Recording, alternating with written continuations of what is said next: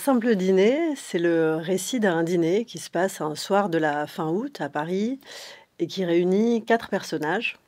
Euh, il y a Étienne qui euh, invite ce soir et puis sa compagne Claudia et leurs invités ce sont Rémi et Joar. Et euh, ces personnages arrivent tous à ce dîner avec en commun de ne pas avoir du tout envie d'être là.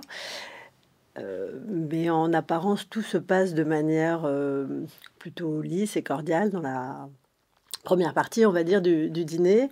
Euh, mais en réalité, chacun est là avec ses objectifs cachés, ses secrets, euh, des décisions importantes à prendre pour certains d'entre eux. Et peu à peu, il va se produire une série d'incidents, d'événements qui vont faire basculer le fil de la soirée et plus largement le fil de l'existence de ces personnages. Tout se passe dans l'espace d'une soirée et d'un appartement euh, à Paris. Donc c'est un huis clos le huis clos, c'est une forme qui permet de créer une certaine tension dramatique. Hein. Donc, voilà, j'ai des personnages euh, euh, qui, qui, sont face à des choses qui les qui les, qui les, qui les bouscule, qui les, trouble. Et donc, euh, voilà, le, le, huis clos va venir euh, renforcer l'intensité de tout ce qu'ils qu'ils ressentent. C'est aussi pour moi euh, une forme intéressante parce qu'elle permet de créer un parallèle entre, on va dire, ce qui se passe à l'intérieur et ce qui se passe à l'extérieur. Je, m'explique le roman, c'est en fait le récit de quatre moments de vie où des personnages sont enfermés dans des existences qui ne leur correspondent ou plus euh, totalement, qui ont fait des choix euh, dans leur couple, dans leur vie professionnelle, dans leur euh, famille, dans leur position sociale, dans lequel ils se retrouvent enfermés. Et donc j'ai bien aimé jouer sur le parallèle entre cet enfermement-là et puis l'enfermement très physique qu'on va ressentir. Donc ça se passe, j'ai dit une soirée d'août, il fait chaud, ils se sentent pas très bien. Il y a tout un travail sur les sensations aussi. de temps en temps, il y, a de, il y a de rares échappées sur le balcon ou dans la cuisine pour respirer un peu.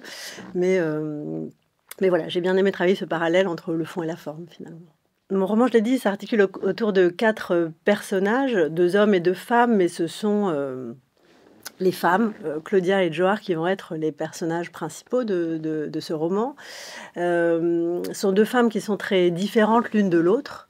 Il y a Claudia, d'une part, qui, donc c'est elle qui a cuisiné tout au long de la journée. Donc elle a préparé un curry. D'ailleurs, elle a, elle a très chaud. Et puis c'est une jeune femme qui est d'une timidité maladive. Donc euh, euh, le roman s'ouvre sur Claudia euh, et, sur un certain sentiment de malaise parce qu'elle appréhende vraiment cette, cette, rencontre. Elle se sent pas bien. Elle a des, elle a des plaques, elle a des plaques rouges. Et puis face à elle, Johar qui semble être tout son opposé, qui est une femme de, une femme de pouvoir, une femme qui est à l'aise en société, très expansive, euh, qui se trouve face à une décision structurante dans, la, dans, dans sa carrière ce soir-là, et qui va euh, commencer à se poser un certain nombre de questions.